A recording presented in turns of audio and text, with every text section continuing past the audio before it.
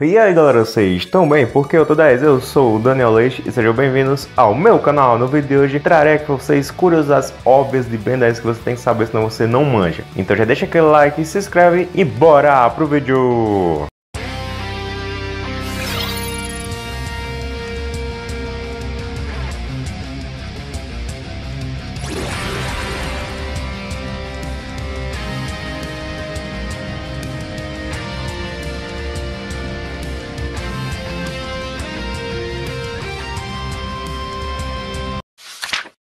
Bom, você sabe qual foi o primeiro alien de gelo do Ben? Ah, Iguana Ártica! Não, não foi o Iguana Ártica. Olhudo! Não, não foi o Mega Olhos. E muito menos o Friagem. E sim o Chama. O quê? Uhum. No episódio Efeitos Colaterais, o Ben acaba pegando um resfriado, uma gripe. Aí quando ele se transforma no chama, ele acaba tendo os poderes invertidos, em vez de fogo, poderes de gelo. Então isso faz dele, ironicamente, o primeiro alien de gelo do Ben. Bom, e o Vilgax, a gente sabe né, que ele é o principal antagonista aí de toda a franquia Ben 10. Só que isso faz dele meio que um enxerido, sabe por quê? Por causa que todo final de série ele tem que aparecer. Não importa se seja uma apariçãozinha, que ele não tenha nada a ver com a trama, mas ele tem que aparecer. Tipo, no clássico, no episódio hipotético Adeus já vai tarde, que a gente sabe que não é o verdadeiro final, mas é mais um final de temporada ali. Não é o verdadeiro final do clássico, até porque é uma realidade alternativa.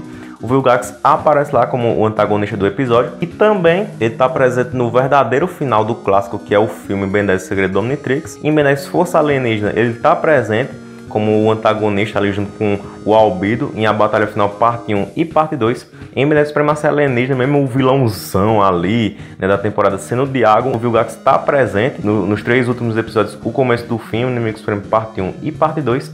E até em Benezão Universo que o vilão é o Maltruante, o, o Vilgax não tinha nada a ver com isso. Quem aparece ali no episódio Um Novo Amanhecer é o Vilgax do passado, né? ele aparece ali só para ajudar o Maltruante, aí leva uma surra do bigotóide com os poderes do Chama, mas conta que ele apareceu.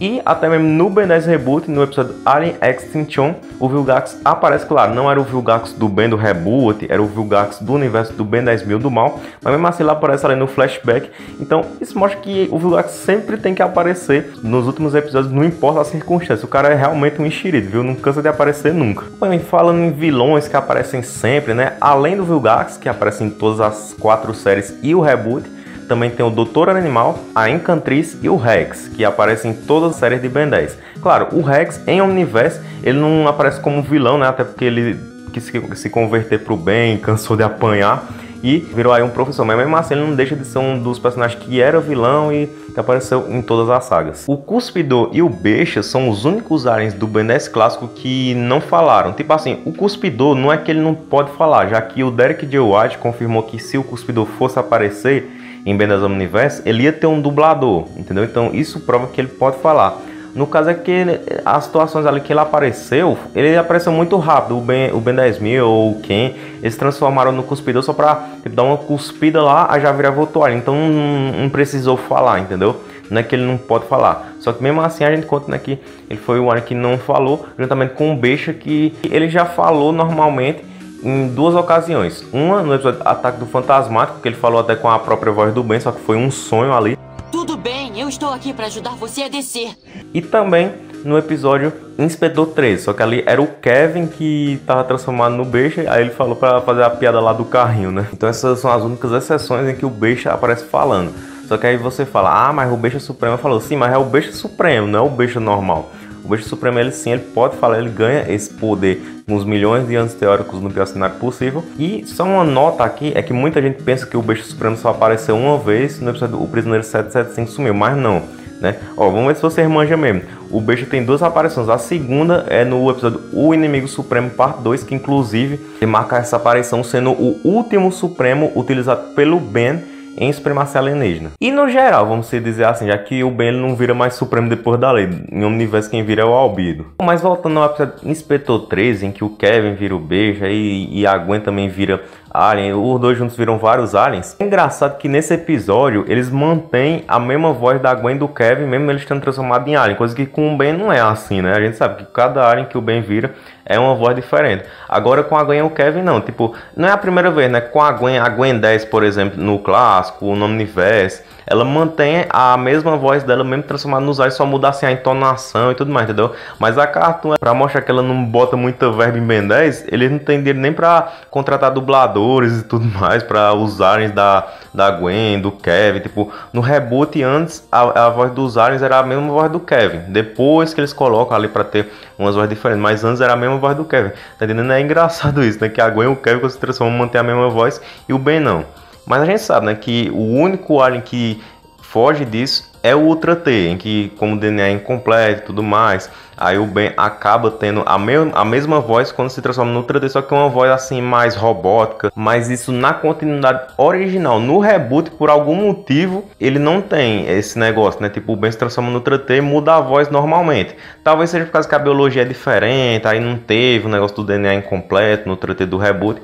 Então, esse é o motivo do Ultra T não manter a mesma voz do Ben. A gente sabe que, que todos os aliens do Kevin, eles são contrapartes dos aliens do Ben, certo? Bom, o Bash Morph ele não é bem assim, por causa que ele serve como rival do Rat, só que ele não é um apoplexiano e também muito menos um Loboan, né? Já que a gente viu no filme do, do Ben 10 contra o Universo que os Loboans são da mesma forma da quantidade original. A gente vê ali o Loboan que aparece, ele é igualzinho ao Yanodusha, ao Blitzwolf no clássico, e o Bash Morph ele é uma outra espécie, mas mesmo assim ele não deixa de ser ali o rival do Rat e ele sendo aí o único dos aliens do Kevin que é exclusivamente do Kevin. Já o Gax, que é o alien preferido de muita gente aí que assistiu o Ben 10 Reboot, ele também existe na quantidade original. Só que assim, se o Ben Prime fosse se transformar no Gax, ia ser um Gax totalmente diferente do Gax do Reboot, já que as biologias né, das espécies são diferentes no universo do Prime e do Reboot. Tipo, o Gax ele pode disparar laser naturalmente. O Vilgax no Prime ele só pôde fazer isso por causa do desafio do Conquistador, absorveu do, do, de um dos 10 heróis de 10 mundos, não é uma coisa natural da espécie dos Chimera Sugeneres. E o Vilgax Prime, ele pode se transformar naquela forma Lula, que é a forma verdadeira dele, só que o Vilgax do reboot ele não demonstrou fazer isso, entendeu? Então, no caso do Gax Prime, seria diferente que poderes do Gax do reboot. Mas que seria da hora a gente ver o nosso Ben Prime virando, seria que desde o episódio do Lobis Ben, a gente tem essa vontade de ver o Ben se transformando no Vilgax e a gente só teve essa vontade saciada no reboot. Oh, não! O que foi? Se eu soubesse que podia virar ETs diferentes só com um toque no relógio, eu já teria pedido que arranhassem ele há muito tempo. Eu seria um ótimo Vilgax. Então é isso, galera. Comenta aí quais curiosidades você já sabiam, quais você não sabia. E deixa aquele like, se inscreva no canal, bora bater logo aí os 100 mil inscritos, colocar aí hashtag rumo ao 100k. Ativa o sininho, falou e tchau!